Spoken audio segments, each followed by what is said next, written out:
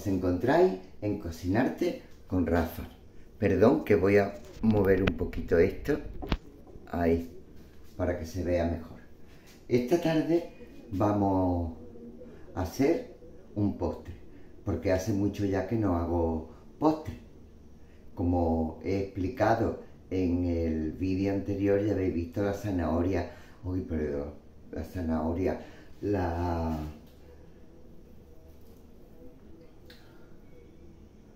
Ay, la calabaza, perdón que se me iba de la cabeza el nombre, lo he tenido que leer.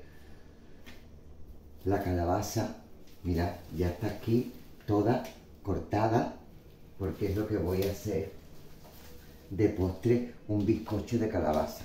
Y lo que me quede, lo demás lo voy a, lo he hecho trozos, todo, como veis, para, para congelar.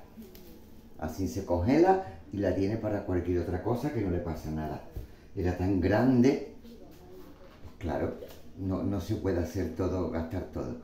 Y además es recién cogida de la huerta, no es comprada ni nada. Para el bizcocho os voy a decir los ingredientes, lo tengo apuntado, porque la edad, que es muy mala. Mira, huevos, 3, por si queréis apuntándolo. Harina, 250 gramos, harina normal o harina de bizcocho, como queráis. Un sobrecito de levadura, que son, que trae 16 gramos de levadura. Un sobre de levadura. Azúcar, 250, lo que se ha dicho, un cuarto kilo de toda la vida de Dios. Calabaza, 250, pero como tiene que ir cocida, cocida pesa menos. Entonces yo le voy a echar, he cocido al vapor, vosotros podéis cocer con agua y después currirla, yo la he cocido al vapor, medio kilo para que quede en 250 gramos. Aquí está la calabaza. Aceite, 150 miligramos. Aceite de girasol, 150 miligramos el sobre de levadura, un poquito de sal y no lleva nada más. ¿Vale? Pues venga, vamos a empezar. Va a hacer falta un bol. Voy a poner que, que tengo el cable puesto por ahí, pero pues no quiero que me, que me estorbe porque lo de la luz no llega. Ahora, que por cierto lo de la luz que no la he encendido que es lo que yo digo, la edad es muy mala. Ahora, bueno, un bol y hace falta o una batidora que le podáis poner varilla o estas batidoras que traen las dos varillas o bien a varilla de, de, mano.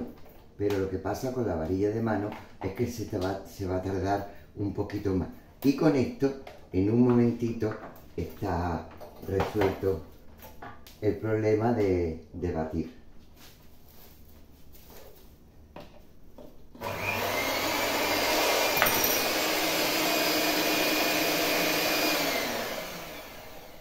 Pues algo pasa que creo que o no lo he puesto bien, no lo sé. Yo lo que sé, si no, lo haré a mano. Es que tampoco estoy muy seguro si estas varillas son de aquí o no. No estoy muy seguro. Porque tengo dos. Pero claro, como lo tengo todo en caja, la otra no aparece. No sé. Bueno, ya lo iré arreglando. Y después tengo el cacharro, el molde para el bizcocho con el que va a montar de mantequilla. Vamos a empezar por poner los huevos con la clara y todo, ¿eh? Uno.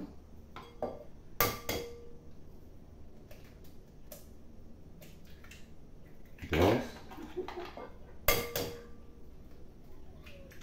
Y tres. Y ahora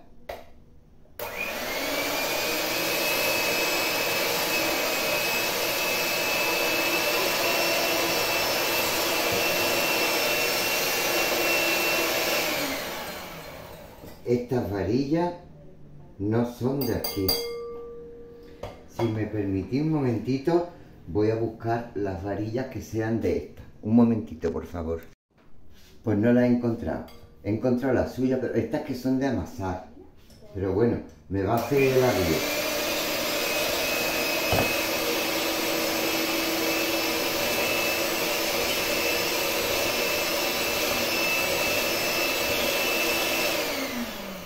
Una vez que tenemos el huevo ya, le vamos echando el azúcar.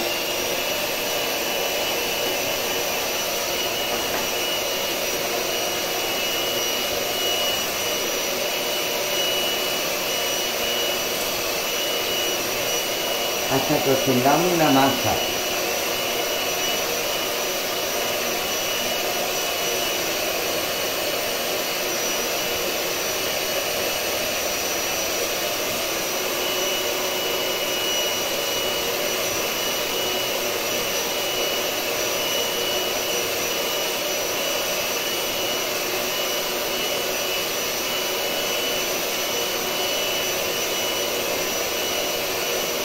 Tarda un ratito con esto va a tardar un poquito más todavía.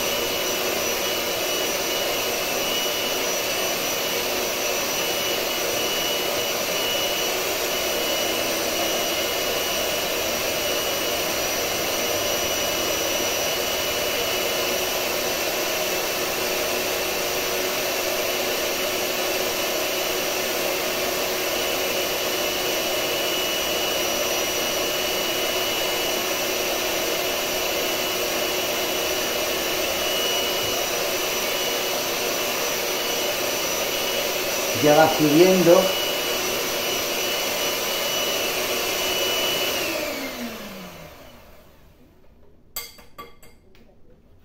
Y ahora le voy agregando la zanahoria, que antes la tengo que, que moler un poquito con un tenedor porque no sé sus varillas que no sé dónde la habré puesto, la verdad. No sé dónde la habré puesto. Porque me he puesto a buscar las cajas que tengo todavía de la mudanza abajo.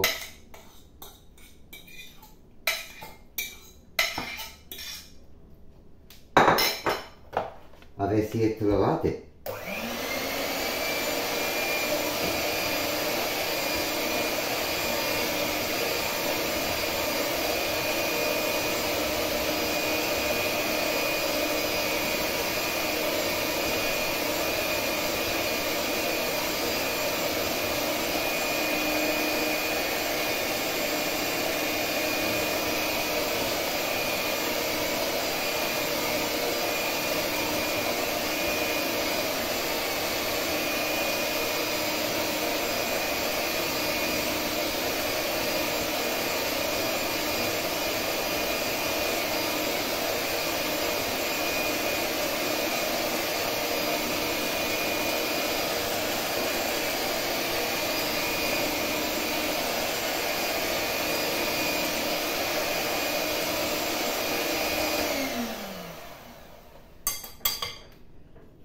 Esto no me está dando el resultado que yo espero. Así que voy a seguir buscando. Hay que ver la tarde. Al final, con la mini pines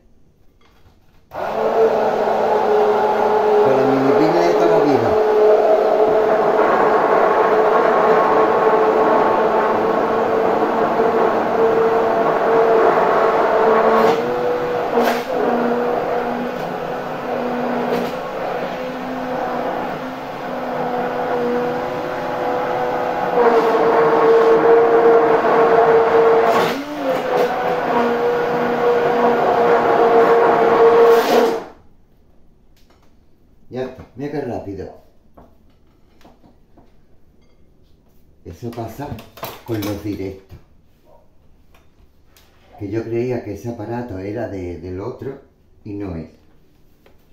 Bueno, pues ahora te sientes y lloras porque es de lo que tengo ganita yo en este momento. Cuando no me salen las cosas como yo quiero o como deben de salir. Oye, que me da a mí una mala, una mala mil, una mala mil que me entra, mala mil en inglés, porque uno lo que tiene es idioma, querido idioma, mala leche en andaluz, y en castellano y en todos los idiomas. Que haga falta. Bueno, pues ahora le vamos a añadir a la harina un sobrecito de azúcar avainillada. La harina la tengo aquí. Ahora después, mientras que se hace el bizcocho en el horno, os vuelvo a repetir otra vez todos los ingredientes. Le vamos a añadir también el sobre de levadura.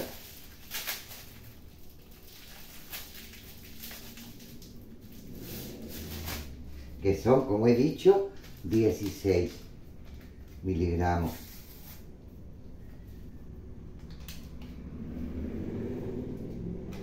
Y ahora,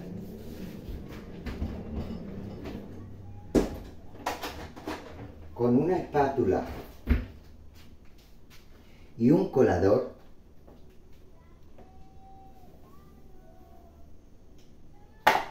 le vamos añadiendo la harina tamizándola, el colador para tamizarla, que no caigan grumo ni nada de eso.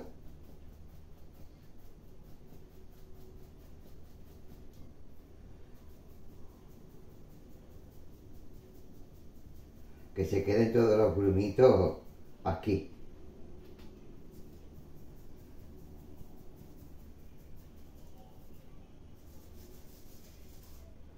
Ahí. Y ahora con mucho cuidadito, de abajo para arriba, despacito, vamos envolviendo toda la harina con el huevo. Así, poquito a poco, con mucho cariño, de arriba abajo, de abajo arriba, para que no se te moje la barriga. Así, despacito y con buena letra.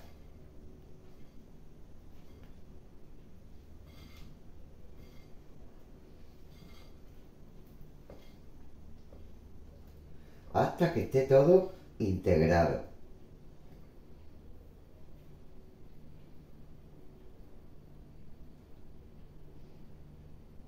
Esto. Antiguamente los pasteleros hacían esto con las manos que es como mejor se hace. Pero hija, como todo cambia, la sanidad la ha puesto todo. Vamos a ir quitándole los grumitos así despacito.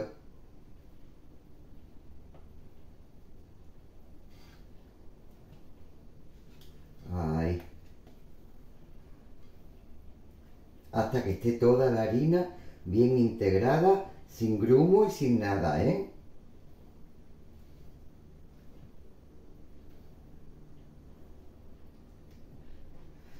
El hacerlo despacito es para que no baje lo que hemos conseguido que suba el huevo.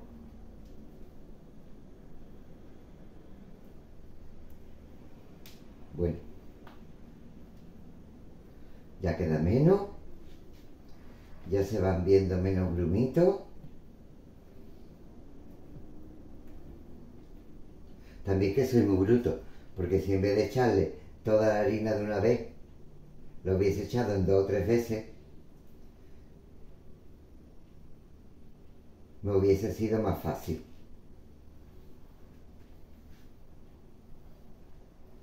Bueno, pero algo saldrá, digo yo. Algo saldrá.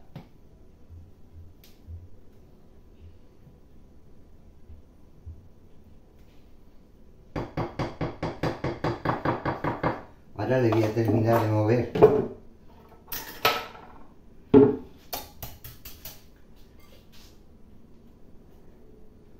Con esto que hace más fuerza, en vista de que quedan algunos grumitos muy pequeños y yo no quiero, así despacito.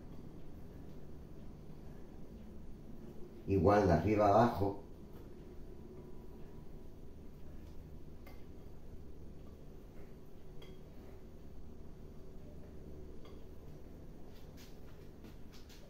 Diré, hoy no lleva adelantar. No. Y llevo camiseta de milagro. Porque yo estaría, si no tuviera que grabar, yo estaría haciendo esto con el pantaloncillo que llevo puesto corto no. De la calor tan grande. Y ya ves tú que ya es 31 de agosto. Bueno, ya no tiene grumo.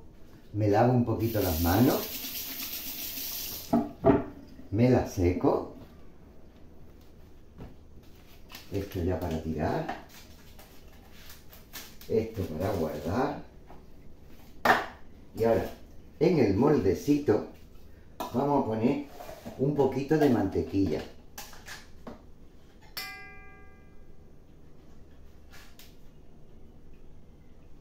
Nada, dos mijitas de nada.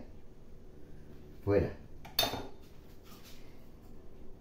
Y no sé si mi hija tendrá aquí una brocha. Es que, es que lo que no tenga mi hija que tiene de todo. Que parece que la cocinera es ella en vez de yo. Hija, qué cocina más completa tiene, por Dios. No le falta un detalle. De cacharro de todo. Pero bueno, eso es, eso es gracias a mi yerno, que como he dicho en la receta anterior, mi yerno guisa muy bien. Pero muy bien. Si yo fuera más joven, no me importaría poner un negocio con él. Y yo lo meto en la cocina. Y yo me pongo de ayudante con él. O yo sirviendo al público, que tengo mucho arte yo para servir al público.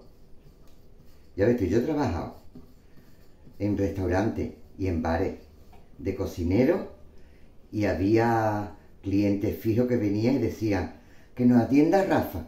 Y ahora yo tenía que salir vestido de cocinerito a atender al cliente, porque claro, como siempre decía alguna chumina. Y ahora, todo esto se vuelca al molde.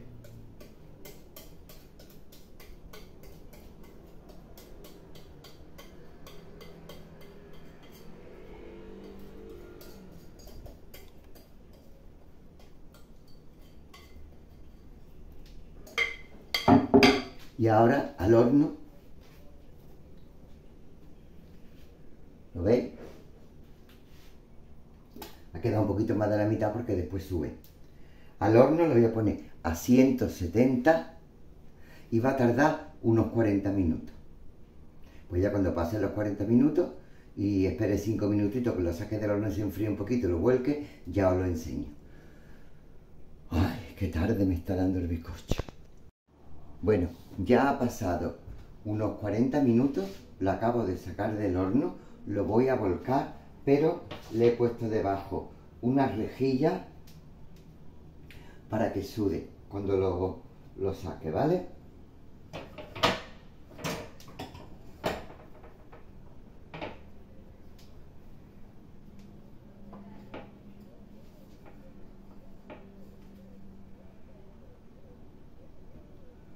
Se me ha quedado pegado. Tengo que dejarlo enfriar un poquito más.